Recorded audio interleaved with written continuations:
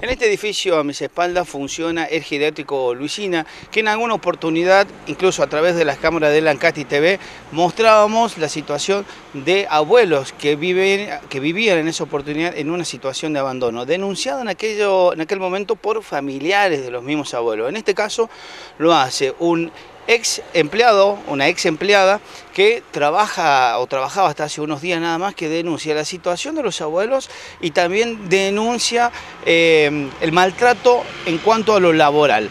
Este es el testimonio de Carola, una empleada eh, trans que trabajó hasta hace unos días en este lugar. Yo denuncié ah, el martes de la mañana, eh, al mediodía, denuncié agresión física de Teresa Moya y de Andrés Castro porque me agredieron, porque ya hace dos meses que no me pagan el, el sueldo y cuando les quise cobrar me agredieron, me corrieron a patadas de ahí.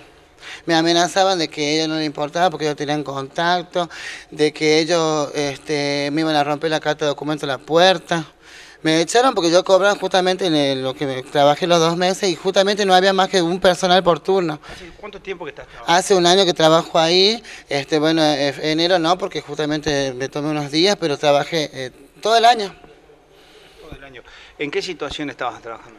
En negro, por supuesto, y aparte también este, voy a hacer una denuncia por discriminación. Ya este, tengo contacto con la delegada del INADI este, porque ella siempre me recalca que por ser una mujer trans no me iban a dar trabajo en ningún lado, entonces yo aguantaba ya agresiones verbales, ya venía aguantando todo el tiempo de, parte de los dueños. Ahora se, se tornó ya violento porque me agredieron físicamente en el momento que me quise cobrar los dos meses que me debía. ¿Alguna vez, eh, digo, en, cuanto a las condiciones en las que trabajan y en las condiciones en las que eh, el geriátrico desarrolla sus actividades, un geriátrico que ha sido denunciado ya en otras oportunidades, ¿cuál es la situación en la que tienen los abuelos? Están este, en condiciones de desnutrición, este, con condiciones horribles de higiene, el mismo establecimiento nada más tiene, eh, se cae a pedazos, tiene humedad, los abuelos todo el tiempo están enfermos se le terror. Por eso yo aguantaba también porque uno le toma cariño a los, a los abuelos. Uno, yo justamente había días que en el que no, no ni siquiera llevaba la comida, yo tenía que buscar para darle de comer.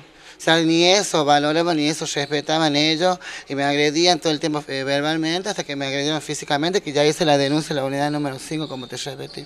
Ya lo, denunciaste, digo, ¿y cuál eh, también dejaste claro esta situación que viven los, abuelos? Por supuesto, lo dejé bien en claro, aparte también me derivaron a, al DIL en el CAPE, que haga una denuncia por la situación laboral en la que yo estaba y por, por suerte puedo sacar fotos de las planillas que la que me este, para poder tener pruebas.